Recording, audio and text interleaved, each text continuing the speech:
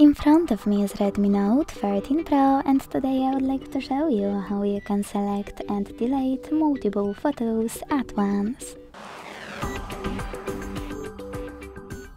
Begin by opening Gallery app and tapping on photos or albums at the bottom.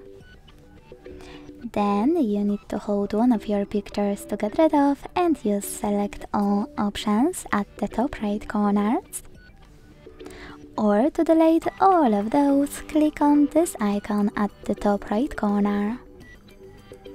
Now, to keep some of those photos, click on the chosen ones you wish to leave. And to get rid of the rest, use delete button at the bottom right corner. Then confirm your choice in the pop-up. Thanks so much for watching. If you enjoyed this video, leave a like, comment and subscribe. Bye!